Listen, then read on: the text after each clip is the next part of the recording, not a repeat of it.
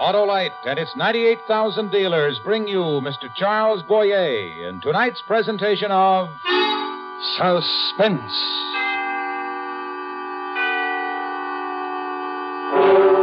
Tonight, Autolite presents a story about a man who successfully played both sides of the law. A true story which we call Vidocq's Final Case. Our star, Mr. Charles Boyer.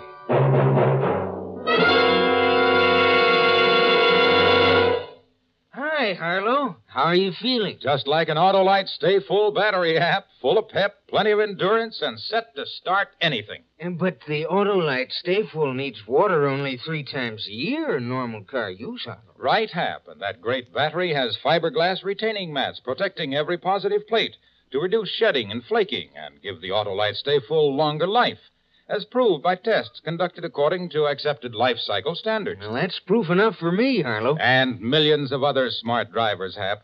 So, friends, visit your neighborhood Autolite battery dealer. He services all makes of batteries and has an Autolite Stay Full for your car if a replacement is needed. To quickly find his location, call Western Union by number and ask for me, Operator 25.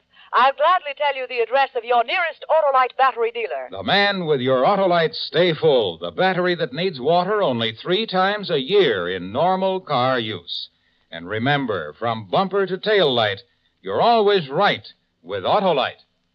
And now, Autolite presents transcribed Vidocq's Final Case, starring Mr. Charles Boyer, and hoping once again to keep you in suspense.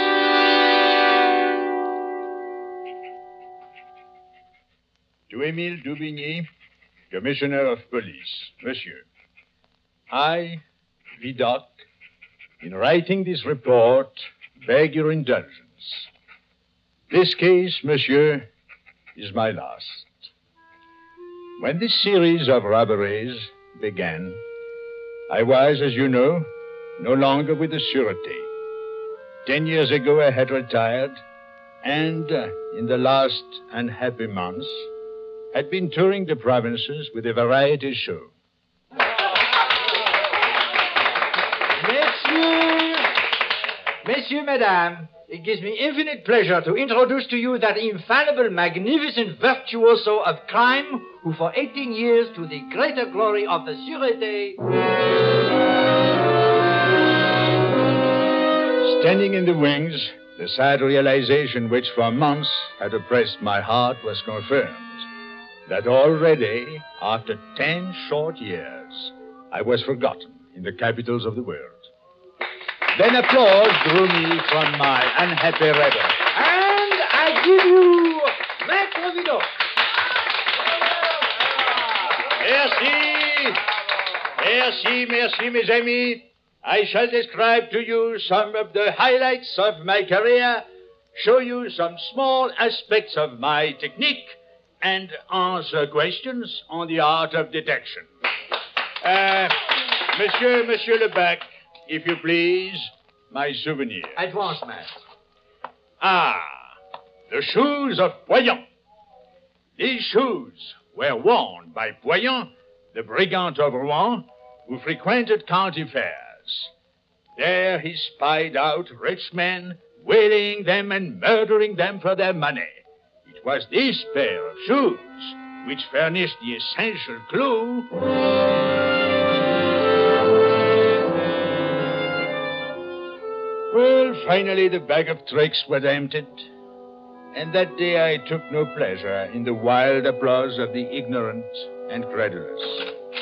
When I entered my dressing room, Ah, Maître, this young man has come to pay his compliment. ah, And Lebec was telling me your motto. Justitia virtutum regina. Justice is the queen of virtues. my motto? No, it's Lebac who fancies himself a classical scholar. Oh, I misunderstood.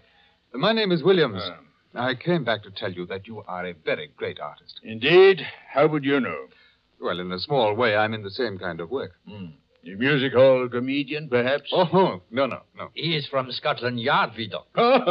In a small way, it's correct. Yes, I'm over here on a case. Uh, you say that you were formerly with the CFT? I was formerly commissioner. For 18 years, commissioner. Oh. Well, I'm on my way to see your present commissioner. I believe his name is Dubigny. a blockhead, a bungling fool. Give him my regards. yes, I will do that. And uh, wish him luck in solving these recent uh, robberies. Oh, you know about them? Oh, all France knows about them and is laughing at the police. Uh, one moment. You are here because of the robberies, monsieur? Well, yes. Yes, the Sûreté seems to think an Englishman is involved. Why? Why do you ask? To give you my sympathies. The case will never be solved. No. Why? you see, Dubigny has been fortunate. Since he became commissioner, there have been no other crimes of this type. It involves a master criminal. It takes a master to catch a master. You seem so certain, monsieur. Well, naturally. I am Vidocq.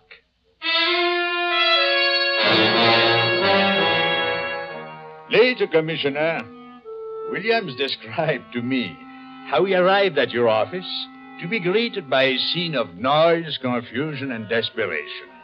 Detectives carried back and forth with urgent messages, while you, Commissioner, vented your bad temper on an unfortunate gendarme. Fool! Fool! But their uniforms were authentic, Commissioner, and they said they needed the cabinets for evidence. So you helped carry the cabinets out of the truck. But it was an official truck. They had an order signed by you. Signed by me, signed by me. Uh, you may leave. Uh, get back to the prefecture. Yes, Commissioner. Uh, well, well, what do you want? I, I'm Williams from Scotland Yard. Oh, oh, yes, yes. Forgive me. This is a most trying day. yes. Uh, Commissioner! yes, uh, yes, Colonel Bourdonnais. What progress have you made in finding the criminal who stole my medal? Uh, we must be patient. And all my uniform! General, I beg you. Unless you find a way of curbing these crimes, we'll find a new commissioner. Oh, I, I fail to see the humor. He said it involved a master criminal. Who said this? Vidocq. Vidocq? Yes, I met him by chance. He's a fascinating man. He's a real artist. Uh, greatly overrated, monsieur, I can assure you. Uh, he once held this office. His methods were most irregular. Still, in the case of these robberies, he might be able to find. Never. Never. For years, monsieur, his reputation overshadowed every man who held this office. Even I had to suffer these humiliating comparisons. Oh, how is that? Vidocq would have done it so. Vidocq would have caught them sooner. Vidocq would have known immediately. Yes, that must have been very irritating. I forbade his name to be mentioned. I took certain steps which made it impossible for him to remain in Paris. I managed judicially to keep his name out of the papers. Now, finally, he is forgotten. Still, in the case of these robberies, he might be able to find them. Never.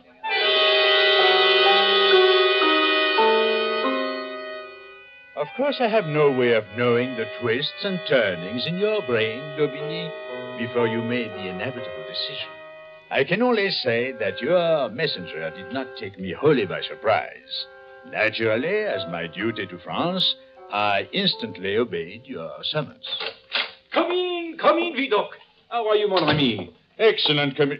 Well... Bonjour, Inspector Williams. Hello, Vidocq.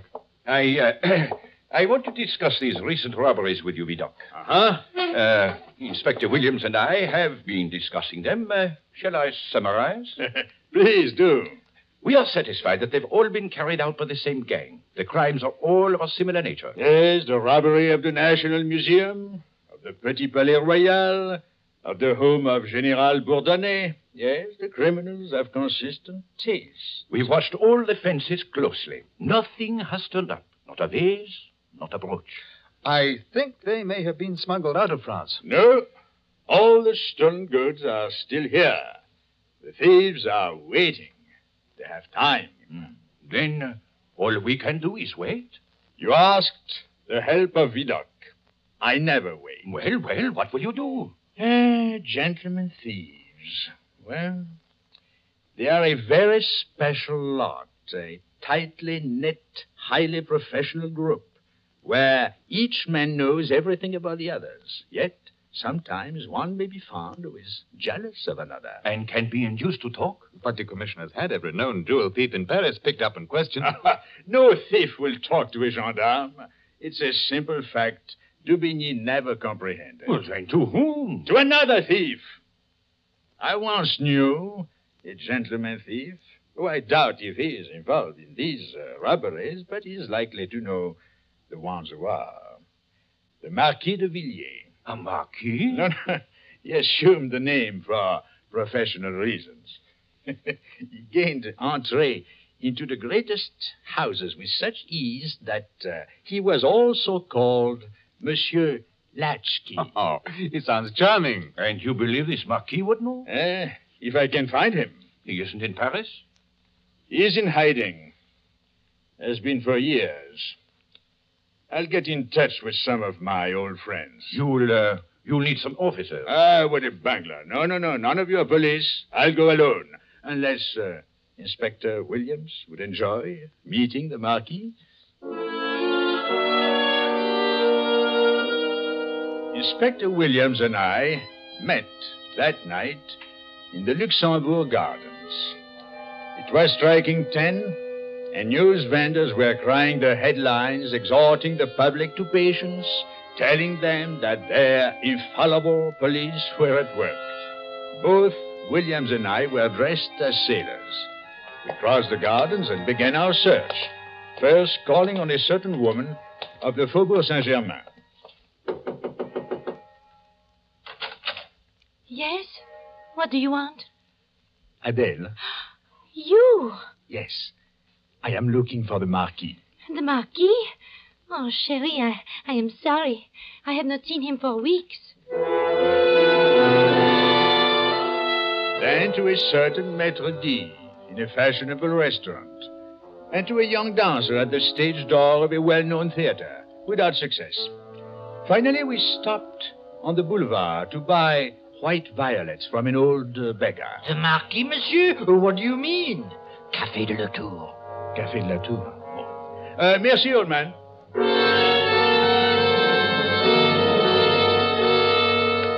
Ah, Café de la Tour. Here we are. Uh, down these steps.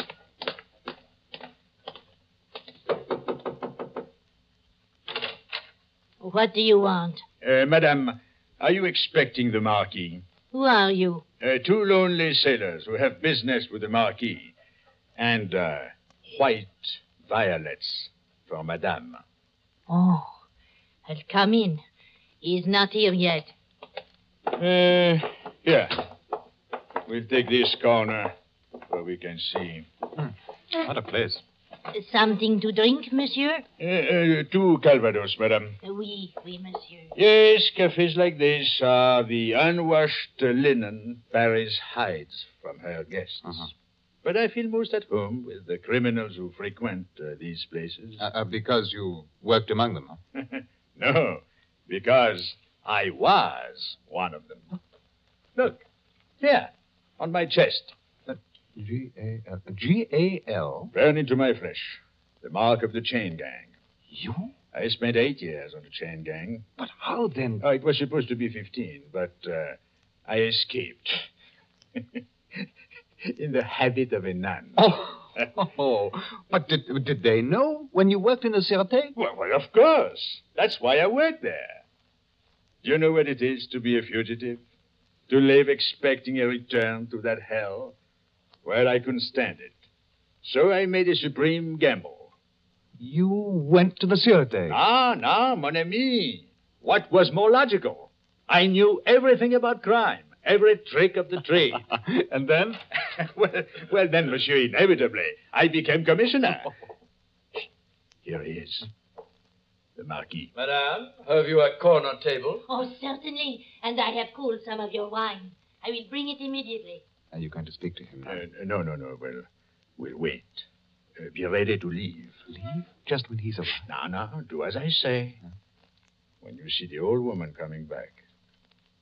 Now. Oh, pardon. Pardon, monsieur. Uh, may I pass? Oh, oh, just a moment.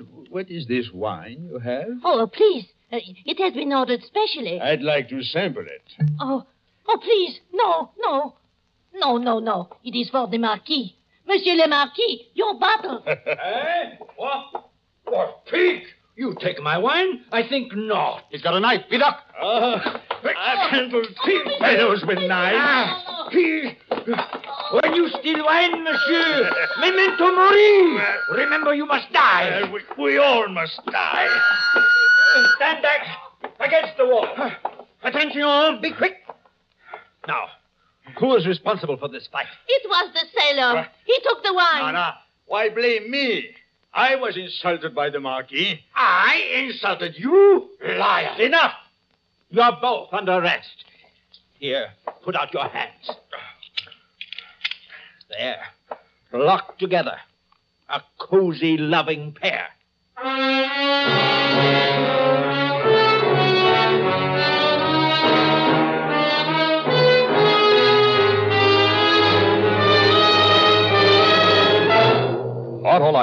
Is bringing you Mr. Charles Boyer in Vidocq's Final Case.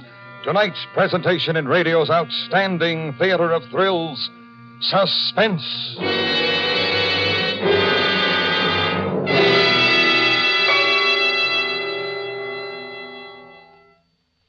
Hey, Harlow, how would you describe an Autolite Stay Full battery? Why, that's easy, Hap. It's the world famous battery that needs water only three times a year in normal car use and gives longer life, as proved by tests conducted according to accepted life cycle standards.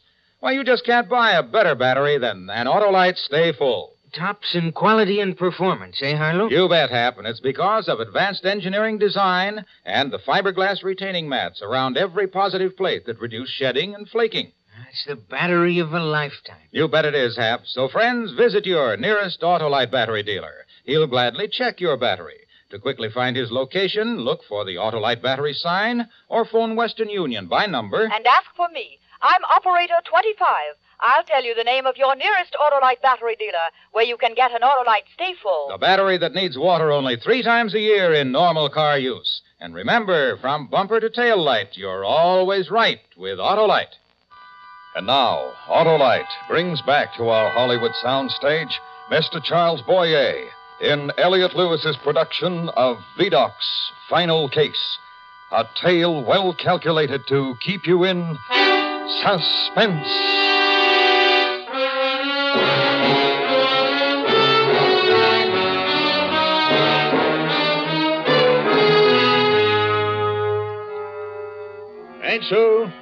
According to plan, my plan, the Marquis and I, Vidocq, were thrown in the same cell.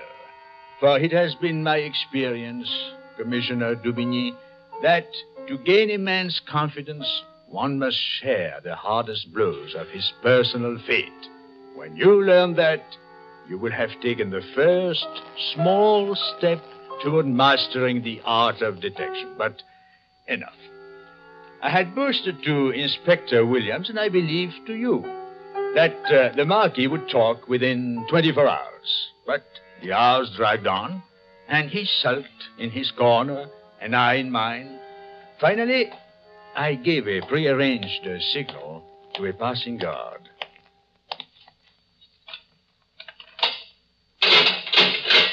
You, on your feet. I only stand in the presence of gentlemen. Stand up. You're to come with me. Don't tell me this lying pig is being released while I rot. Released. He's being taken upstairs for questioning. We have a tip on this fine bird. A tip? That you know quite a lot, monsieur, about these robberies. Now, march.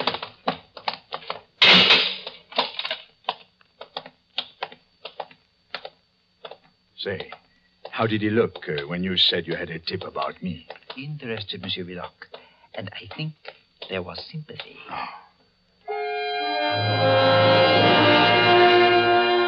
When I reached your office, Dubigny, you were eating your dinner.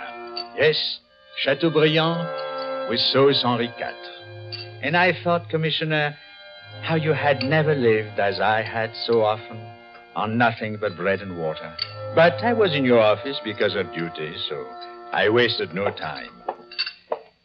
Well, the Marquis will not talk. Ah, well, I am afraid this case is too much for you, Vidocq. Your trap is sprung. The bird is caught, but he will not sing. Because you have a stool pigeon in the next cell. Huh? How did you know? What do you take me for? His ears wave through the bars. Remove him. Any more advice? Yes. Have your gendarmes give me a sound beating before they throw me back into the cell. My pleasure. Uh, after I have eaten. Oh. A Chateaubriand also, and pomme soufflé, and then a sweet.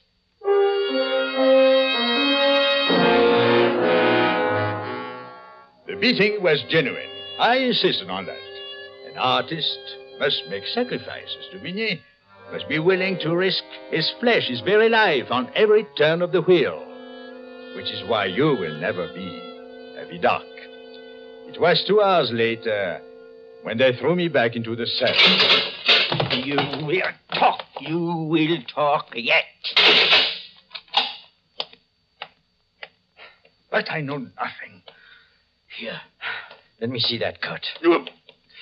Hmm. I told them I knew nothing. Whoever committed those robberies would not let himself fall into the hands of the police. that is right, my friend.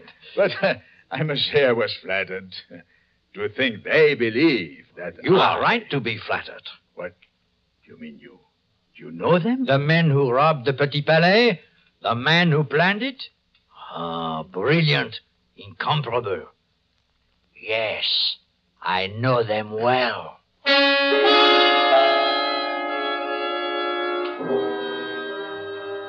And so the birds sang, and I was ushered back to your office just before midnight. But it was fortunate you were alone, Dubigny, for much of what I had to say was only for your ears. Well? Well, Vidocq? Well, the case is solved. Uh, let me sit down, please. Eh. Well, well, did the Marquis confess? No, no, not so fast, mon ami.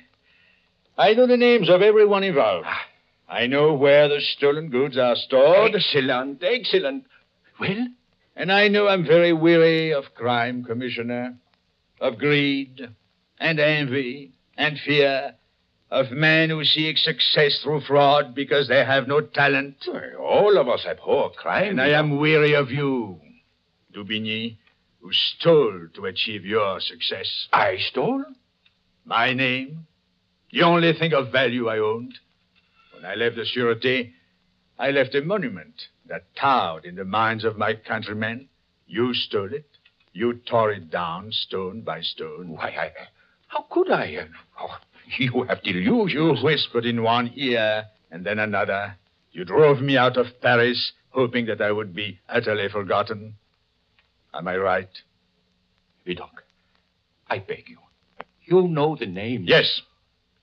But there is a price. How much? I have composed a statement for you to sign.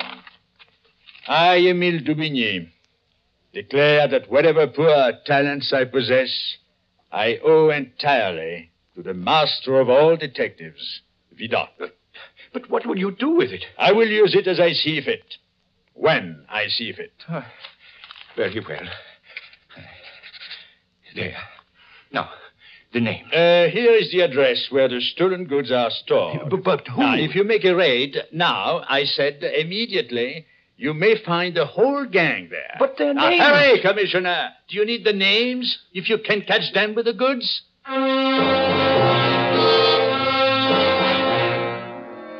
I let you lead the raid in person, knowing that newspapers would send reporters there. I was willing to let you have the glory for once. I remained in your office, drinking your excellent cognac, when uh, young Inspector Williams joined me. He had been informed that the case was solved. Ah, a most charming cognac. Yes. Now tell me, the Marquis was not involved? No, no, no, no. He merely disclosed the names. Uh, how many were in the gang? Uh, uh, seven. Yes, seven. All experienced uh, thieves. Oh, was there an Englishman? Is, why, why, yes. I believe he said there was one who had escaped from Dartmoor. The commissioner's reasoning was correct on that. And the mastermind? Uh, the Marquis did not say. No, but surely, Vidocq, you know. Not of his certainty. Well, then I have surpassed my teacher because I know. Oh? And who is he? You. Monsieur Williams, what possible proof? Proof? My proof is the Marquis. In the Café de la Tour, when you and he staged that very convincing fight. Was it staged, monsieur. Mhm. The Marquis shouted, Memento Mori. What of that? A Latin motto. The Marquis is Lebac, your assistant in the variety show, the man who fancies himself to be a classical scholar. Justitia virtutum regina. Justice is the queen of virtues. But what could be my motive? I mean, to, to rob and gain nothing for myself? Didn't you gain great satisfaction when all of France laughed at Daubigny? Bravo. you are worthy of your teacher. Before I go, what will Daubigny discover in this raid? Why, the stolen goods, uh, the jewels, uh, the general's medals, the mirrors and paintings from the Petit Palais, the, everything. Hmm. And the gang? Oh, they have escaped. But uh, they are of no consequence. There were only two men. And now, one is a shabby marquis, and the other, well, a man who is rather pleased with himself.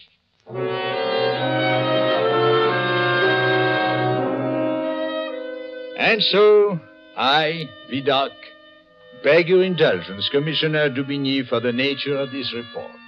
As I said, it is my final case and perhaps not my best. If you wish, consign these pages to the fire.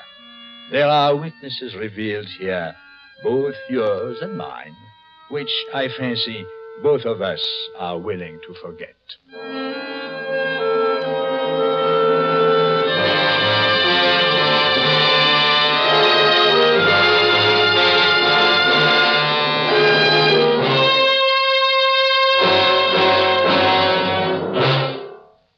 Suspense. A true story presented by Autolite. Tonight's star, Mr. Charles Boyer, will return in just a moment.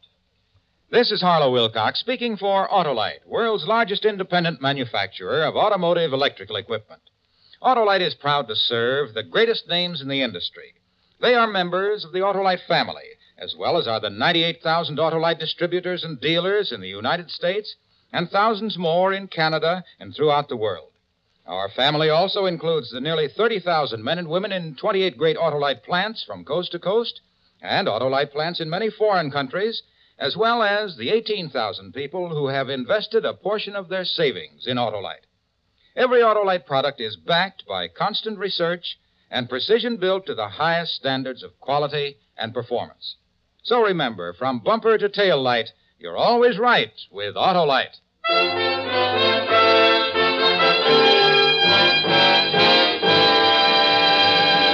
And now, once again, Mr. Charles Boyer. Next week, the fourth member of our first drama quartet will appear on Suspense. Sir Cedric Hardwicke will star as the most infamous poisoner who ever lived, Dr. Edward William Pritchard. The program will be heard on. Uh... Suspense. Suspense was transcribed and directed by Elliott Lewis. Music was written by Lucien Moraweck and conducted by Lud Gluskin. Vidocq's final case was written for Suspense by Sylvia Richards. Featured in tonight's story were Ben Wright, William Johnstone, Paula Winslow, Parley Baer, Victor Rodman, and Joseph Kearns. Charles Boyer may be seen in the fall tour of the first drama quartet's presentation of Don Juan in Hell by George Bernard Shaw. Remember next week, Sir Cedric Hardwicke in another true story, which we call The Diary of Dr. Pritchard.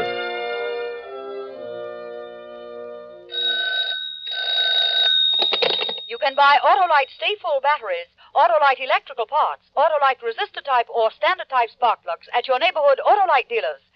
Switch to Autolite. Good night.